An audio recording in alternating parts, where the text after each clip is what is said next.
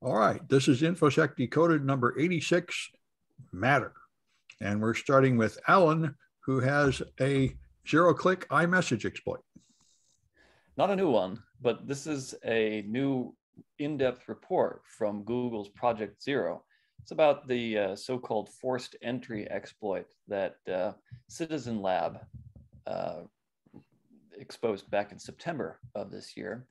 And uh, forced entry was an NSO group zero click exploit of uh, iPhones, iPads, Macs, really any um, Apple product, and quite a sophisticated one at that. Uh, Google's Project Zero is calling it extremely sophisticated. It's very impressive. It's like more impressive than state uh, state actor um, impressive, the technical sophistication. I can't claim to understand the whole thing. This Project Zero blog post is actually only the explains the first half of the exploit. I will attempt to summarize it as best I can. And uh, what's so great about this exploit, or scary about this exploit, of course, is that it's zero click. Uh, some other past exploits from NSO Group um, and its Pegasus spyware required that the victim open up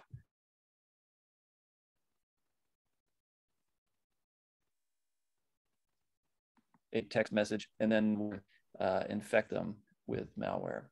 Hmm. But in this case, uh, the recipient, the target, merely had to receive the message, and that was enough for it to execute.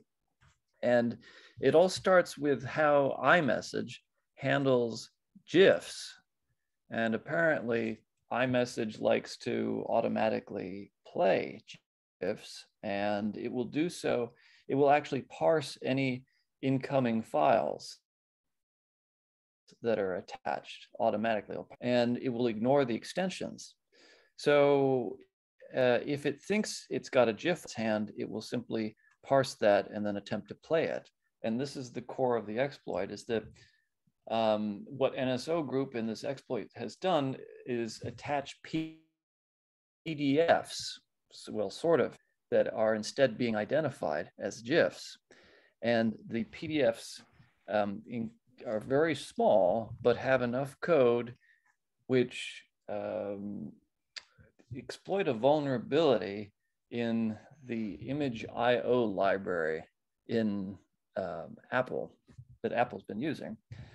And to make a long story short, it's a very old standard called JBIG2 that's 20 years old and uh, it's just a bad implementation in um, the open source um, uh, PDF rendering engine, I think XPDF, which then allows for a uh, integer overflow. It's just a very small segment of C code that's poorly written that allows for an integer overflow, which then allows the attackers, after a number of gyrations, to, um, and this is skipping ahead quite a bit, to make logic gates in memory and to make it Turing complete of all things.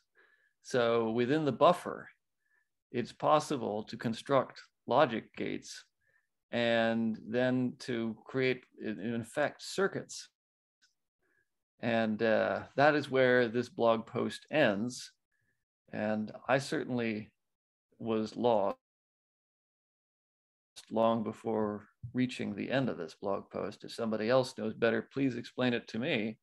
But that's the, the long and the short of it is that this is extremely sophisticated and it involves multiple vulnerabilities um, chained together uh, with devastating effects.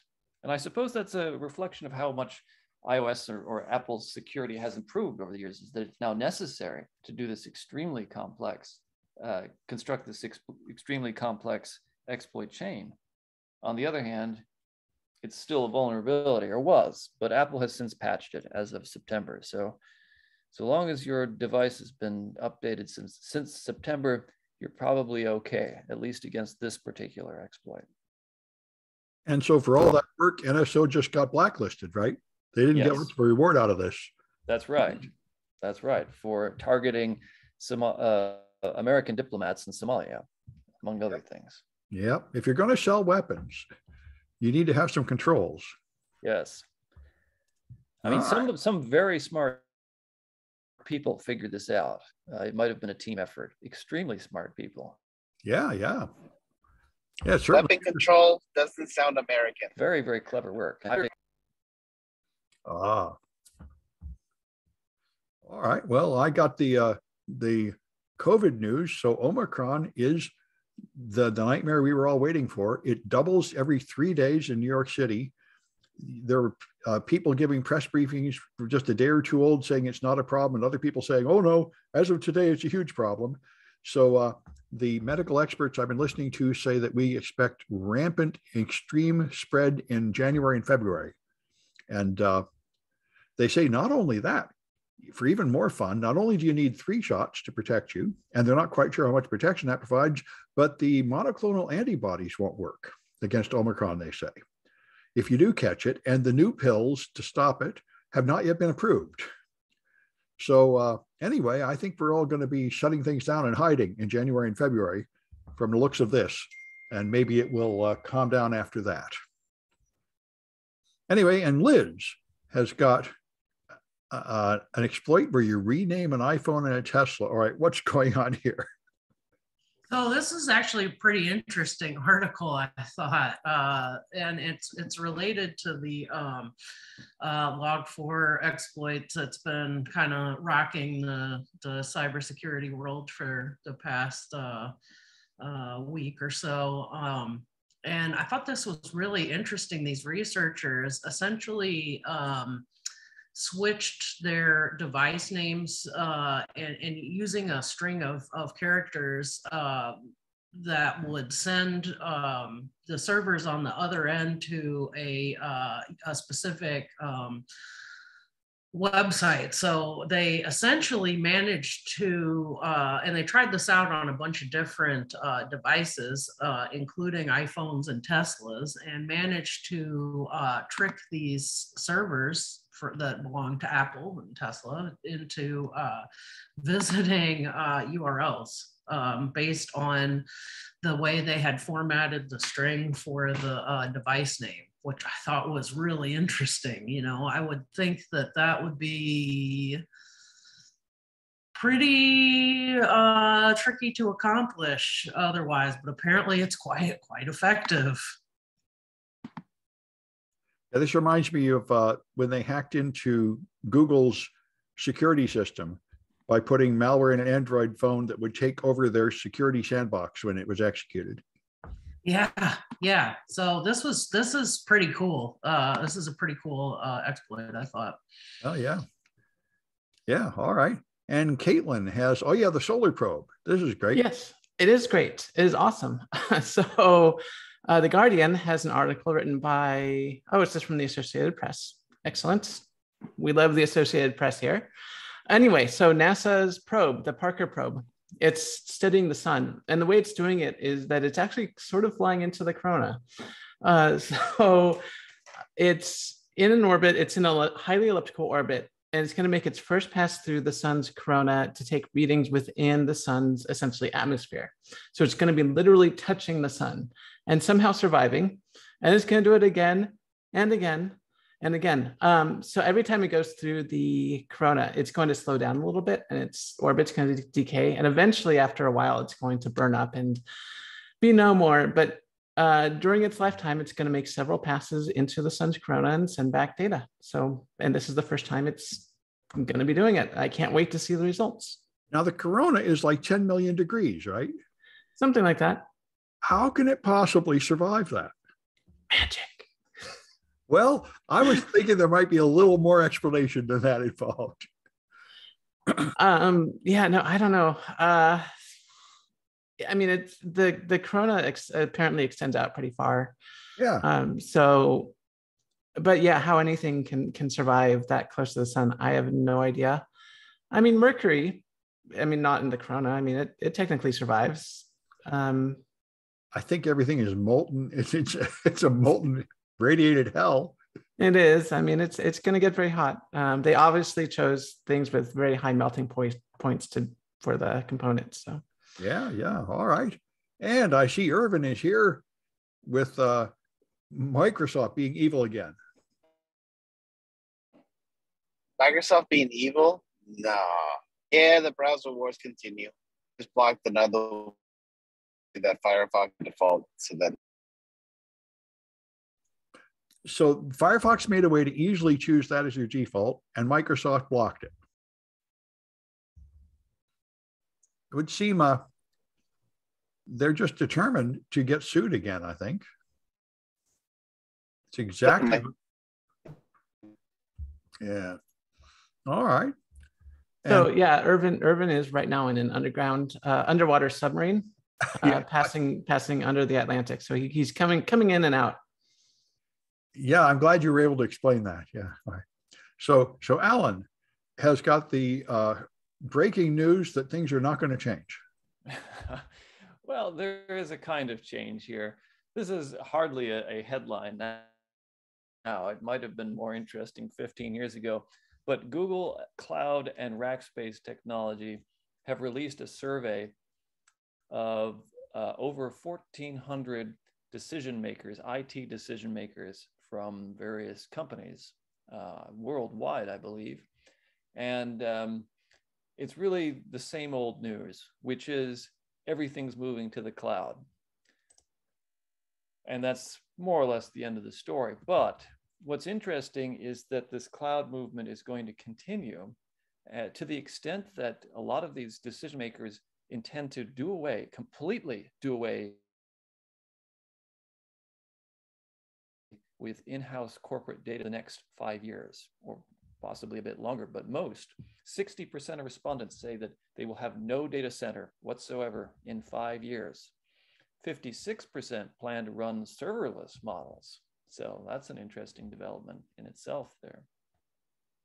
Uh, there are the usual concerns about security and budget and all that too. But what it comes down to is it's very clear that even very large organizations have no interest in running their own data centers anymore. Um, and presumably among these 1,400 respondents, uh, the Fortune 500 or Fortune 50 even are well represented. So it's very clear that, uh, that this movement to the cloud is a real thing and it's going to continue for the foreseeable future. And it has some real consequences, I suppose, too. Yeah, I mean, I, am not surprised. I'm for there's a bunch of grants at the college that will only pay for hardware, and I keep saying, who wants hardware? Hardware, ick, yuck. Put everything yeah. in the cloud. Unless we run our own cloud, there's really no point. Running your own cloud is really a drag. Somebody has to maintain it and patch it and all that jazz. But doesn't doesn't City College have a whole bunch of IP space that they could lease out and make a ton of money on? Well, they have IP addresses. Um, last I heard, they might actually make some progress selling them. I don't think you can lease them out, but you can sell them.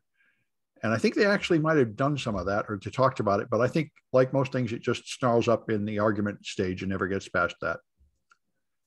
But what they don't have is any good server room or any good, uh, you know, people to maintain it. And you know, that's I think the same thing all these companies have. Then you have to have backup and power and a room and a technician all to keep that stuff up when why don't you just put it in somebody else's cloud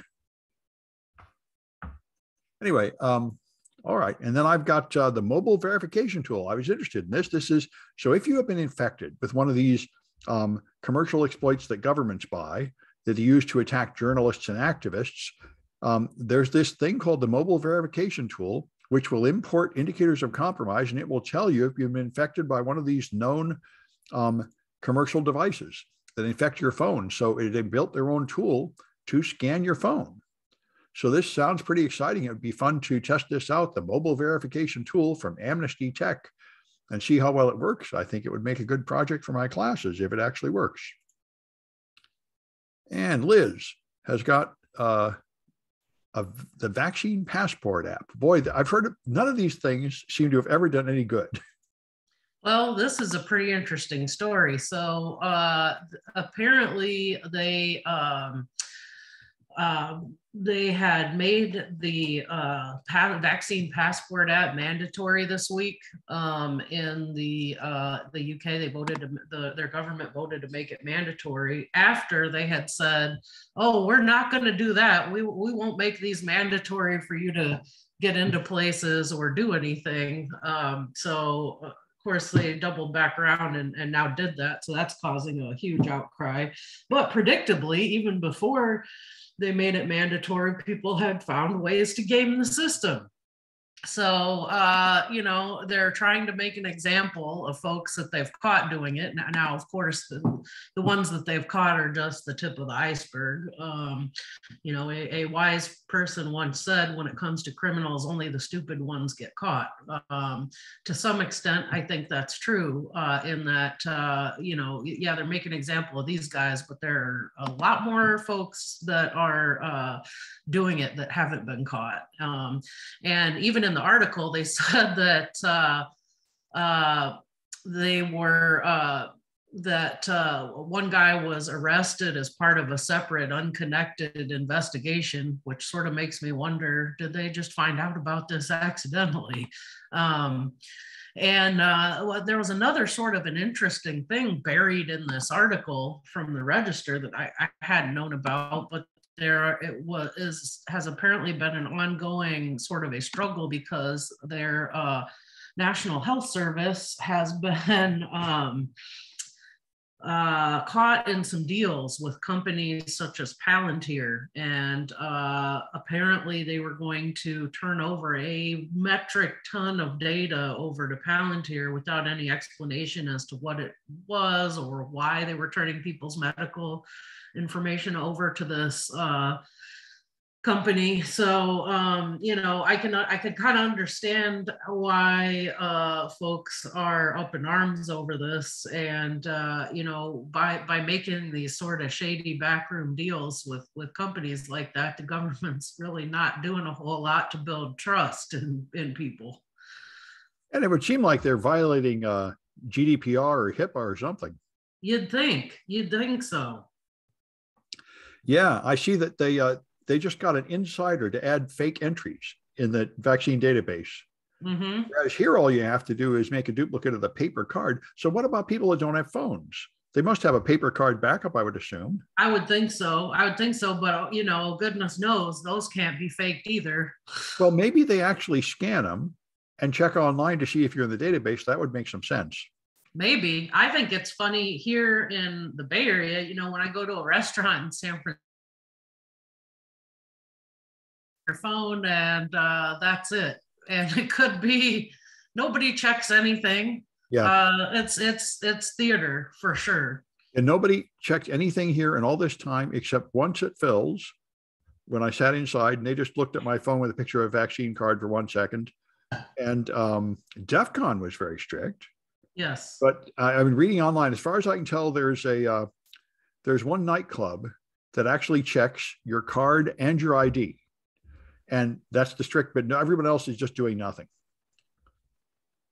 I went someplace in Oakland where they made you show an ID, but as quickly as the guy looked at it, I, there's no way he could have been comparing the names. And even if he were, it's pretty easy to manipulate yeah. I'm not sure how effective that is, you know. Uh, then again, I was really surprised that DEF CON didn't become a super spreader event. So it uh, seems I, I, was pretty happy with the, the uh, things at DEF CON.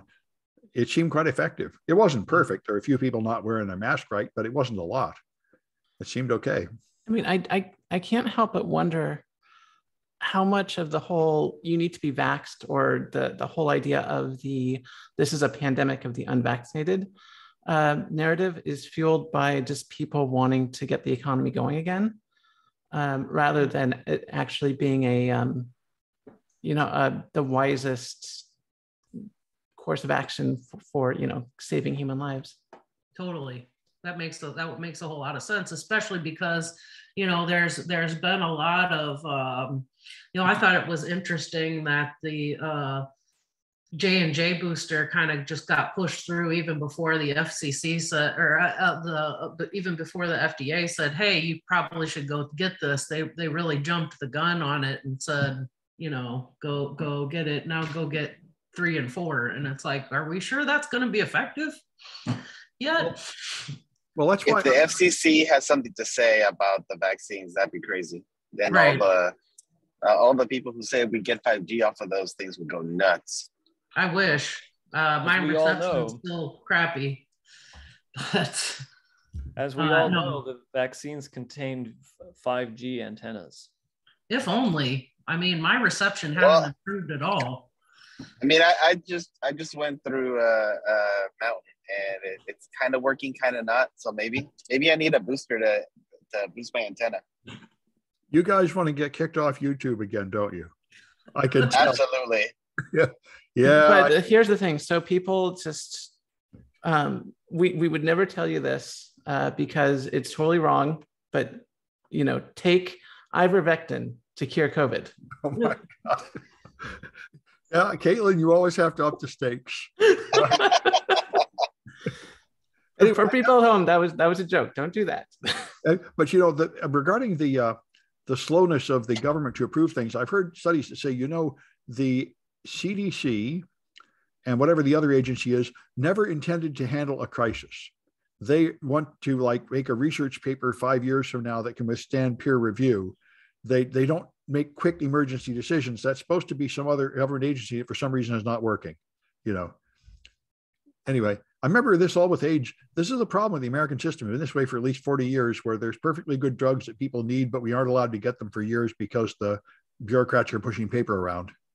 And but but it is important that they do push the, the paper around to a certain extent. Um, there there are a lot of companies out there that will sell poison, Yeah. uh, that will sell drugs that look promising but end up having long term effects that are not very good. Well, I thought that was the point of the emergency use authorization. That's what it's supposed to be. You're allowed to use it temporarily because of the emergency uh, for a limited period of time, and then we go through the proper approval. Anyway, um, so let's see. I think we're down to Kaitlyn with uh, no chips. No chips. So here's a very s- small one paragraph article by Nikkei Asia, which answers a very big question that's been on a lot of people's minds, including my own recently, which is when can we start buying computers again? And the Intel CEO, uh, according to uh, Kuala Lumpur, who wrote the article, is saying somewhere in 2023 uh, is their, their current guess as to when uh, the supply chain will be fixed. Uh, there's just currently way too much demand and not enough capacity to produce chips at the moment. So you can't get your GPU, you can't get your computer. Uh, this has been going on for like almost a year now. Um, and it it's surprisingly has very little to do with COVID, although I'm sure it does play a role. Uh, but hopefully we'll have the supply chains issue, the supply chain issues worked out sometime in 2023. So we now have a date. So get ready, save your money for that whenever's out in 2023, the NVIDIA 4070 series or whatever they have. 40. By then it'll be like 60. Yeah. All right. And Irvin has got the leakage by the F12 key. Um, yeah, apparently uh, it's at the UK's version of Craigslist, Gumtree. They they put all the the PII inside of inside of the the page itself. So you just uh, open up developer mode and hey, look at that. Nice, uh, nice bunch of info, easily available. Yeah, when you post something to sell it, it puts your PII in the source code. Yep. Yep. Yeah, that's swell. Okay. All right. And then we got Alan with uh, Apple's Office return. Yeah, this is one of those side notes about the pandemic. And of course, it doesn't affect people outside of a few tech companies. Oftentimes, after all, there are so many people who are still required to do their jobs as before. But Apple has delayed the return to their physical offices once again. And uh, they had been planning for a return on the 1st of February. Now it's been pushed back indefinitely, date to be determined. And uh, Apple's also going to be offering all of its employees a thousand dollar bonus so that they can buy better chairs and ergonomic keyboards and so on and so forth. And Apple's just one among many tech companies that have pushed back their return to office dates again. Google, Facebook, Uber have done the same thing. Um, and uh, some of them are now looking at mid 2022. Others have gone entirely remote permanently, like Twitter. So it's you know, uh, amongst uh, amidst all this news about the Great Resignation and about uh, some companies having trouble finding new employees. There's this this tug of war between tech companies and their employees who keep insisting that they can work just fine remotely um, continues. And it's going to be interesting to see how the Omicron variant and perhaps subsequent variants that cause more anxiety, justified anxiety about COVID, uh, really do affect uh, long term working arrangements, at least in tech companies and those types of jobs where people are able to work effectively remotely. I'm surprised our colleges haven't said, you know what, we're just going to do spring online again. I think that may well happen. You know, New York University and Cornell had to cancel final exams, turn them remote because they had gigantic outbreaks on campus just in, in the last week. So uh, it, colleges are having big explosions. Yeah, and it's so surprising. Those kids and their partying. It took, it took uh, Omicron to do this, um, and not the earlier variants. Yeah. Well, well, they had precautions. Omicron is much harder to protect against, apparently. True, true. And if you'd like, and Bloomberg has the point that by now everyone is so fed up with like social distancing and everything that people just aren't being as careful anymore, which I imagine is probably true too. Yeah. Although I think a lot of college campuses, uh, the kids at college campuses were operating as if um, the, the, party had never stopped. And uh, there was a lot of irresponsible behavior, and yet there were only minor outbreaks for the most part up until but now. they're but they're young; they have nothing to fear. And they oh. were and they were vaccinated. I hope, which probably helped, but not much against Omicron. Anyway, I thought this one is amazing. I didn't know this. Windows 10 in 2018 added a cloud clipboard. So things you copy to the clipboard are shared with your other machines that you've logged in. And now you do have to turn it on, though. Thank God it's not on by default. But of course, that means the passwords you copy are in the clipboard on other machines that somebody might be able to get to. And so Firefox figured this out and arranged their software so it will no longer put passwords in the cloud clipboard, which seems like a good idea. This reminds me of another thing that came out, I think, in Windows 8, where you would log into a Wi Fi network and it would automatically share the Wi-Fi password with other machines that it thought you were friends with.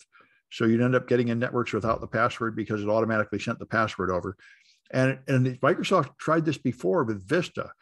In the days of XP, machines didn't have much RAM. And so in order to make Vista run faster. They said, we're just going to find other computers on your local area network that aren't using all your RAM, all their RAM, and we'll put some of the RAM for your program in the RAM of some other machine on your LAN just to make it faster. And I said, this is awesome. You're going to take other people's data and just put it right on my machine for me. And they never actually even deployed that one because that was too insane. But they've had a whole series of these uh, convenience features that have turned out to have security consequences. Wait, Apple doesn't do that already? Apple does it with iCloud. Yeah, and they tell you, shall I save this password in the iCloud keychain? Yes, this was Microsoft's attempt to do the same thing by just sharing the clipboard. I don't think Apple shares the clipboard, does it? I haven't noticed that. I don't know. It kind of sounds like something Apple would have done first. Well, at least I know Apple pops up a box and tells you you're saving this in the keychain. It will be accessible to other devices. I don't think Microsoft did that although I haven't tested it, so I'm not sure. Anyway, um, Liz has got deep fakes. Yeah, so this is kind of a, disturbing story, but there's um, a website which uh, generates uh, deep fake nudes where you can submit clothed pictures of someone and it will uh, digitally strip them and uh, generate nude photos of them um, which is a little disturbing. Uh, and uh, essentially, um, they are starting the whole revenge porn as a service uh, uh, industry here, and they have. It's not just just this one site. Now they've it's kind of crazy. They've they've developed partnerships with other businesses and um, stood up like a, a, a, a, an open API that they've. Uh, who, who, who on earth would want this service? Uh, that's what I would think that it would be pretty. Um, I mean, there are a lot of sleazeballs in this world. So for every sleazeball product, there's a sleazeball consumer. And is this illegal? It's not well clear to me that it's a crime exactly. I was thinking about that because it's sort of like it's sort of like Silk Road, right? Now, when Silk Road went up, that was easy to take down and process because there are all these harsh international drug laws. I don't know that there are harsh any harsh international drug laws uh, covering deepfake and revenge porn. Well, if, it, if it's actually not really a photo of the victim, I don't know, man. This is pretty I think crazy. well, I'm just thinking, I can't imagine exactly how the victim could claim damages and win. That's a good question. Yeah, I, that's what I, am wondering too. Yeah, I, it this seems to me like uh, um, this may be you know if I could see maybe if it were published, maybe if it were published, it could be covered under defamation or something, or slant. It might be or some kind of slander. Um, but uh, yeah, but I think free speech would cover a lot of it. That's yeah. This this seems like we might this might be around for a while. Yeah, I think it will, and and and again, this comes back to uh, being something that can be very useful to manipulate political outcomes. Yep. All right, and uh, Kaitlyn's got the uh, Amazon. They made their staff keep working even when the building's falling down. Yeah, so this happened earlier this week, but I feel it really needs to be called out again. Uh, so the Insider has an article written by Isobel Asher Hamilton. Uh, so what happened, in case people are unaware, uh, there were some pretty major storms and tornadoes and stuff going on over in Illinois. And Amazon has a fulfillment center over there. And in the middle of the storm, the employees were told just to keep working, even though they should have gone home. They're not unionized. You know, they can't go home. They have to do what their bosses say. And unfortunately, the tornado came and people that were in the building, uh, many of them lost their lives. So about six Amazon workers died uh, because Amazon didn't want to lose profits due to the, um, the storm going on outside. Um, and that's basically what, what happened. They, they really should have not been going into work. It was too dangerous, uh, but Amazon wanted to keep making money. They weren't unionized, so they didn't have a choice. They didn't have anyone looking out for them. Um, and as a result, yeah, six people are, are now no longer with us. So yeah, Amazon has a statement and they say fake news. Amazon, yes, Amazon, of course, says fake news. Um, however, they said, "Oh no, no, no, we we, we didn't tell them to, to stay." I mean, they totally just lied. They said, uh, "You know, we, we're not going to tell them to stay," but we saw uh, somebody, one of the um, one of the relatives of the people who died shared a uh, screenshot of their phone showing a text message saying, Hey, I can't go home. I know it's rainy, uh, but they're making us work here. So, yeah. And I know there's a candle factory where a bunch of people died for the same thing. They tried to go home and they said, if you leave, you'll get fired. Yep. this is, yeah. Um, the candle factory also says it's fake news. I'm, I'm sure, I'm sure, you know, I don't think so. God, there there was. I mean, and this is. I, I don't know what, what goes on in these people's heads. There, there were. This is a minor incident compared to this one incident that happened in, I think it was in South America, with there was this supermarket, and the owners panicked about stealing, and there was a fire inside, so they locked it, and like hundreds of people lost their lives. I forget the name of the the place. Um, but then afterwards, the owner was like non repentant, blamed it on one of the people that died in the fire, and then said, Oh, I know what we'll do. We'll build an even bigger supermarket and we'll, we'll name it after the, the people who died, you know, and, and gives give people some some of the stake in the new supermarket. And people were just like, no, we, we don't want stake in the supermarket where our loved ones, you know, perished and we're still grieving. I mean, it's just the, the people, there, there's a term that I learned recently, and it's called elite panic. Um, and this is what happens when people have have been isolated from the rest of society, uh, the, the vast majority of societies who are not uh, you know, in the capitalist class. Uh, and by the capitalist class, I mean people who own capital. Um, most people, even if you're wealthy or relatively wealthy, don't own like capital, the means of production. These people are so afraid of like uprisings or people panicking or just things going wrong that they just sort of panic in the middle of of disasters and they they cause a lot of people to die um, and this is one more example so Yep. Class war, straight out of Marx. Yep. Pretty much. Yeah. But it, it is it is a noted thing that this this um this this elite panic. Um, yeah. All right. And Irvin has got a garage sale. If you are in San Francisco today, uh, No Starch Press is selling whatever they have in their garage from four to seven at 50% off. Which would be books, I imagine. Which would probably be books. I don't know what else they do, but apparently there's a sale today. Mm-hmm. Good, good. And I got one more here, which I put on the title, which is Matter. I thought this was pretty interesting. Uh, smart homes are a mess. I remember a few years ago, I saw people tweeting as they went on a vacation and had like a babysitter, and they said, Oh, yes, to turn the lights off in the bathroom, you need an iPhone app, but to close the garage doors, you need an Android app. And to turn off the fan, you need this third thing. And that's what people's smart homes are just a baffling maze of incompatible hardware and software that doesn't work. And then when the internet goes out, it all stops working. And so a bunch of companies have banded together to try to fix this, making a new standard called Matter, which will um, employ Zigbee, Z Wave, Wi Fi, and Bluetooth, and make both an internet connected network and a peer to peer point to point mesh network through your home among all your devices and transmit um, IP based transmissions to control them all. So hopefully they will all work and they will all be able to be reached from any point and they will continue to work even when the internet goes out. That's the plan. So this standard should be finalized by the middle of next year, and the devices compatible with it should start being sold by the end of next year. And maybe after that, um, smart homes will become smarter and less completely frustrating to use. I, I've noticed that. That was one of the big things when I was decorating my apartment. And I got a few smart things, not many, but I had to make sure they would all work in the same ecosystem. And I really think that's way too much to ask for the average consumer that wants like a smart light and a smart, um, you know, stove or smart microwave or whatever. I mean, it's fine. Whatever, whatever is float your floats your boat. You know, I just have some RGB lights that I need to control.